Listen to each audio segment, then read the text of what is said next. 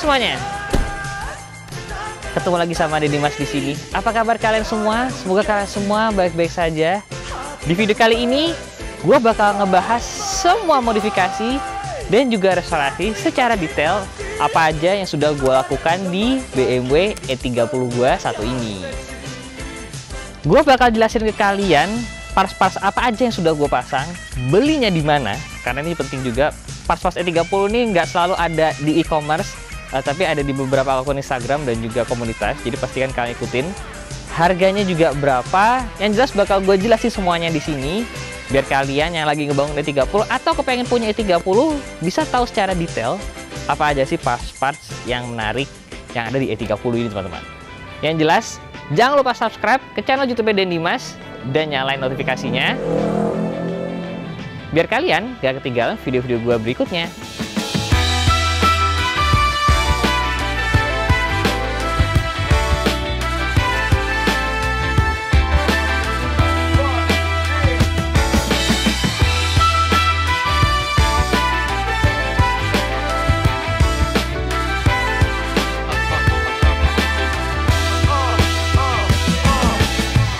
Oke, sebelum gue jelasin ke kalian, gue mau ngasih tau dulu ke kalian bahwa aliran modifikasi atau restorasi yang gue lakukan di E30 gue ini adalah OEM.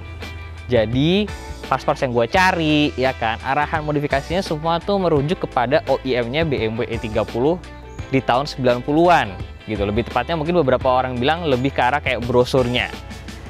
Jadi bukan tunernya, makanya kenapa di mobil ini gue nggak ada Alpina gitu kan, karena itu alirannya aliran tuner. Jadi ini gue pastikan dulu di awal biar kalian juga paham nih. Kenapa nanti gue milih barang-barang yang ada di mobil ini. Nah pertama kita mulai dari eksterior dulu. Yang jelas dari catnya ini sudah direkondisi oleh teman-teman dari Wet Gloss. Balik lagi ke kalip soretnya seperti ini teman-teman. Sengaja di mobil ini catnya ada sedikit kulit jeruknya karena memang itu adalah um, bawaan E30 seperti kayak baru dulu ada kulit jeruknya bukan yang benar-benar flat kayak kaca gitu yang jelas ini wet gloss hasilnya memuaskan banget. Benar-benar mobilnya menjadi becek abadi teman-teman. Nah, ini adalah salah satu modifikasi yang belum pernah gue bahas juga nih, yaitu peleknya. Mungkin kalian akan bilang, hah kayaknya itu mirip deh bang sama pelek yang sebelumnya. Mirip, tapi beda teman-teman. Kalau yang kemarin adalah ring 14, ini adalah ring 15-nya. Jadi gue jelasin sekali lagi, ini adalah pelek BMW Style 5 ring 15 VCD 4 x 100 ET 20-an yang memang menjadi salah satu pelek untuk opsinya di BMW E30 tahun segitu teman-teman. Ini adalah wishlist gua di mobil ini ya. Bener-bener ini pelek yang gua mau. Akhirnya kemarin ketemu langsung gua rekondisi di kaum ningrat ya. Ini salah satu akun untuk uh, rekondisi pelek juga. Dan hasilnya gue jujur memuaskan banget karena sebenarnya ngecat pelek BBS seperti ini itu agak susah teman-teman. Karena banyak kelek-keleknya gitu. Cuman ini rapih kelek-keleknya. Oke banget. Pelek BMW Style 5 15 inci yang 4x100 sebenarnya ada dua teman-teman. Ada yang ET20 seperti ini ada lagi satu lagi yang ET sekitar 40-an nah itu bentuk face-nya agak beda agak lebih cembung karena dia itu bawaan dari BMW E30 325 iX yang mana gadanya lebih lebar. Nah jadi kalian harus perhati ini jangan sampai um, salah beli karena kalau gue secara pribadi gue suka yang ET20 kalau yang di ET40 itu kalian harus pakai spacer sedikit biar nggak mentok ke suspensi. Kemudian juga dari ban um, seperti gue bilang karena gue pengen OEM banget pengen secara speknya kayak brosur pelek ini itu bannya adalah 20555 R15 sayangnya sekarang sudah jarang banget uh, ban seukuran segitu. Cuma ada beberapa opsi akhirnya gue pakai yang ini walaupun sebenarnya gue masih agak kurang puas karena kurang otak tapi ya nggak apa-apa untuk sementara gue sudah cukup puas dengan looks yang seperti ini teman-teman Oke, sekarang kita bahas modifikasi yang sudah gue lakukan di bagian ruang mesin. Um, sejujurnya kalau mesin ini belum gue apa-apain, cuman gue servis aja, karena kebetulan kondisinya masih bagus, teman-teman. Nah, Um, paling yang sudah terlihat berbeda adalah suspensi. Ini sudah menggunakan ISX, coilover dari ISX. Yang jelas oke okay banget. Kenapa? Karena gue bisa ngatur tinggi redanya di keempatnya lebih presisi. Jadi jatuhnya mobilnya itu lebih enak teman-teman. Nah, kemudian yang sudah gue tambahkan di sini adalah strut bar. Ini mereknya Ultra Racing model yang fix. Karena ada dua, satu lagi dia model yang ada adjustable-nya di tengah sini. Nah, ini sih kalau misalnya kalian udah dapat E30, gue sarankan untuk langsung pakai. Kenapa? Karena salah satu penyakit E30 adalah tower suspensi depan ini, kiri dan kanan, itu karena umur kali ya, jadi kadang-kadang suka lemah, jadi suka agak bengkok dan jadi nggak seimbang. Nah, menggunakan strut bar ini itu mengurangi efek tersebut, teman-teman. Tapi juga harus disesuaikan dengan mobil kalian. Biasanya kalau yang sudah goyang, itu perlu model strut bar yang adjustable, teman-teman. Beberapa juga biasanya suka langsung ganti ini, teman-teman. Tutup fuse boxnya ini ya karena mungkin sudah kemakan umur sudah butek begitu. Uh, ini bisa kalian beli baru. Kalau nggak salah di Brilian Garage Instagramnya kalian bisa beli baru untuk gantiin fuse box ini teman-teman ya. Biar lebih kinclong lah ya. Kemudian selain dari itu beneran di ruang mesin ini ya masih standar banget. Bener-bener gak ada yang diapa-apain lagi. Oh kecuali knalpot knalpot sudah pakai custom dari Lunatic Performance yang gue puas dengan hasilnya. Karena apa? Karena gue request biar tidak berisik tapi bentuknya bagus. Nah sama mereka di delivernya produknya persis seperti apa yang gue mau.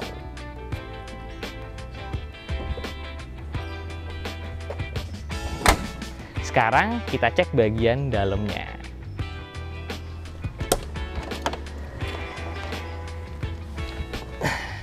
Nah percaya atau enggak modifikasi atau restorasi yang paling banyak gue lakukan di mobil ini adalah di bagian interior, teman-teman. Beneran banyak banget di sini yang gue ganti. Mungkin gue mulai dari tombol-tombol dulu. Nah, ada tiga tombol utama di sini yang gue restorasi. Pertama dari switch AC yang ada di sini. Ini juga salah satu penyakit E30. Kenapa? Karena setiap kali kalian AC, kalian tuh harus mencet tombol ini. Setiap matiin, pencet lagi. Nah, mungkin karena kemakan umur dan sebagainya, biasanya pencetannya udah nggak nyantol lagi. Ini bisa kalian beli baru sekitar satu setengah juta rupiah. Gue belinya dari Berdikari Motor itu ada juga di Tokped. Kalian bisa cek. Kemudian tombol berikutnya yang gue cari adalah ini. Ini adalah Windows Switch Breaker teman-teman. Nah ini bisa beli baru juga. Gue beli lewat rumah katalog. Nah dia ini gue beli karena gue pengen ngejar ada lambang kaca dan ada lambang petirnya. Bawaan E30 ada, cuman ya karena udah kemakan umur biasanya sudah mulai pudar. Makanya ini sengaja banget gue cari. Ini masih masukin dari Jerman nunggu sebulan lebih teman-teman. Kemudian juga ini uh, apa lighter. Ini juga yang punya E30 bentukannya seperti ini agak berbeda dengan bentukan BMW yang lainnya. Masih made in Germany. Gue beli baru juga. Kenapa? Biar kelihatan lebih rapi aja di sini. Kemudian tombol lain yang gue beli jadi tombol keempat ya yang gue beli itu adalah di bagian lampu sini Nah, di sini gue beli tutupnya doang. Kenapa? Biar kelihatan ada lambang lampunya. Karena balik lagi karena sesuai umur, biasanya yang ada di mobil bawaan ya sudah mulai pudar, teman-teman. Beberapa perintilan lain juga yang gue pasang yaitu ada third brake light, jadi lampu rem ketiga di belakang. OEM BMW yang dibuat oleh Hella. Ini memang spesifik untuk E30. Kemudian, salah satu hal ini juga yang lucu yang gue dapetin dari rumah katalog adalah ini Nah, ini adalah center memang bawaan E30 ya. Um, ada colokannya persis di sebelah sini teman-teman. Ini di sebelah sini ada colokannya dan ini kepake ya buat lihat-lihat. Cuman ini karena memang sudah umur, jadi ini sudah semacam direstorasi, makanya menggunakan LED warna putih dan juga baterai sudah diubah untuk lebih uh, bisa adapt ke teknologi yang lebih modern teman-teman. Tapi ini memang tuh, lokasinya persis di situ, lucu ya. Nah, hal lain yang gue ganti di interior ini juga salah satunya adalah shift knob. Ini sekarang sudah illuminated, jadi kalau nyalain lampu dia nyala di sini teman-teman. Kaca spion juga sudah gue ganti. Ini OEM BMW E30 juga. Bedanya apa? Dia sudah ada map light di sini. Jadi ini ada lampunya. Nah, ini gue beli di Euro Corner, sedangkan kalau yang shift knob itu gue beli di Brilliant Garage, teman-teman. Kemudian, gue juga nambahin komputer di mobil ini. Jadi secara standar di E30318 di Indonesia dia tuh nggak ada komputernya. Nah di luar negeri ada. Nah ini gue tambahin. Ada dua hal di sini, yaitu OBC 13 button atau 13 tombol yang ada di sebelah sini. Kemudian juga cek panel yang ada di atas sini. Nah ini dua-duanya gue dapat dari Euro Corner. Nah ini menarik banget ya untuk sebuah mobil tahun 91 ya 90-an awal dia tuh sudah ada komputernya teman-teman. Jadi kalau misalkan ini mau gue nyalain,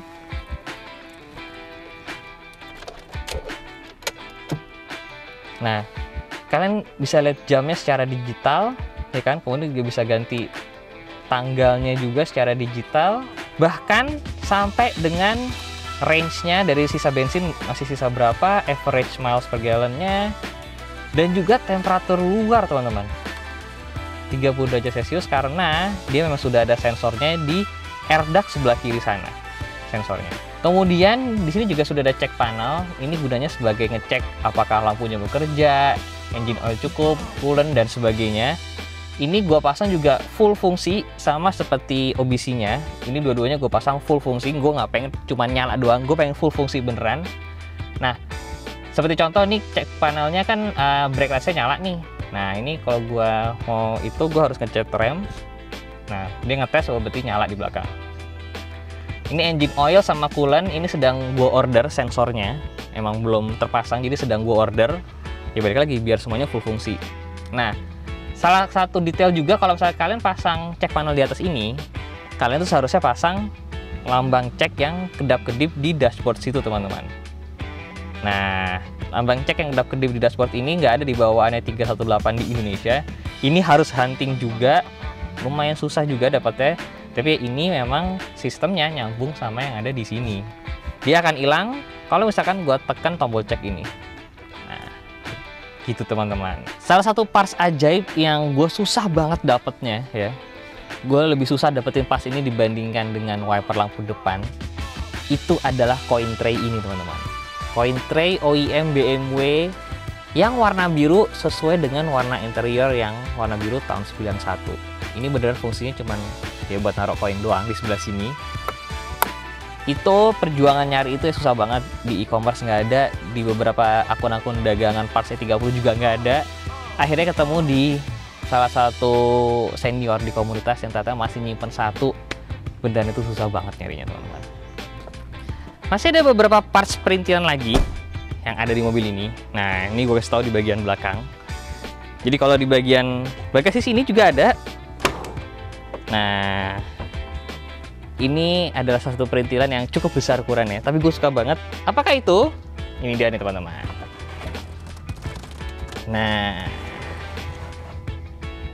ini adalah jerry can bensin atau tangki bensin cadangan ya, yang memang OEM BMW. Makanya kenapa di sini ada lambang BMW-nya teman-teman. Nah, ini memang OEM BMW Menariknya adalah dia ini ada dua ukuran teman-teman. Nah, ini dia nih teman-teman. Tangki cadangan OEM BMW yang ini ukuran 9 liter karena menyesuaikan dengan pelek cadangan gue yang memang ukurannya 15 inci sama dengan pelek yang gue pakai sekarang. Ada satu lagi yang lebih kecil ukurannya 6 liter. Itu dipakai untuk pelek cadangan yang ukurannya 14 teman-teman. Nah ini gue dapetin dari teman gue yang kebetulan bukan pedagang parts tapi kebetulan dia ada parts ini nganggur di rumahnya. Tuh. Pas banget ya posisinya. Ada di ban cadangan ini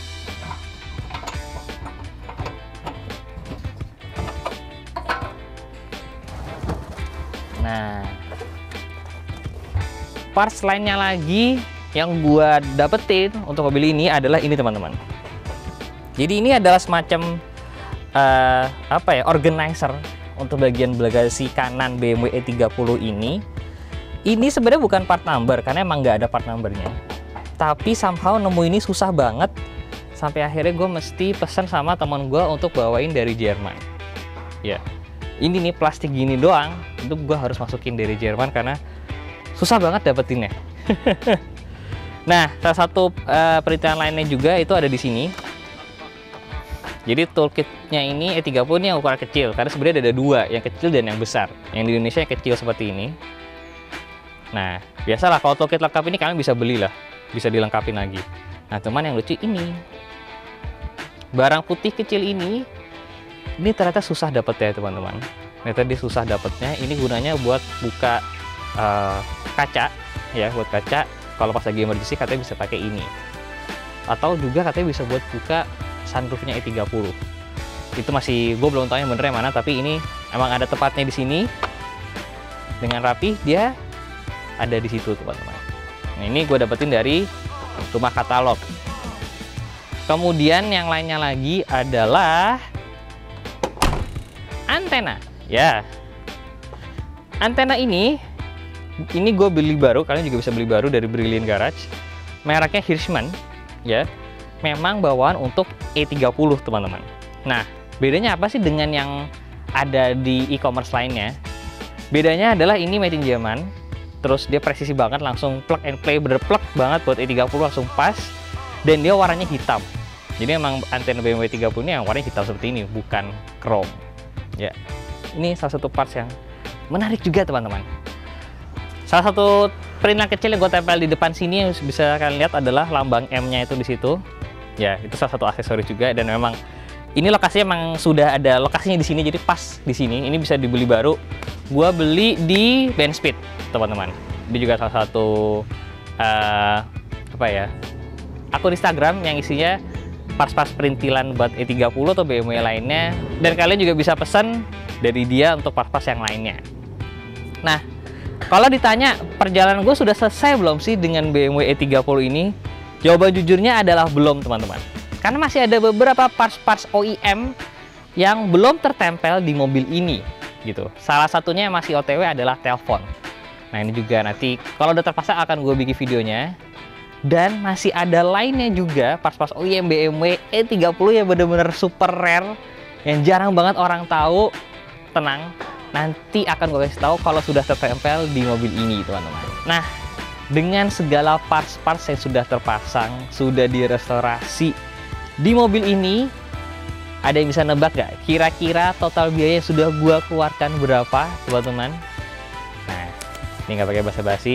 Jadi, total biaya sudah gua keluarkan untuk modifikasi dan juga restorasi BMW E30 gua adalah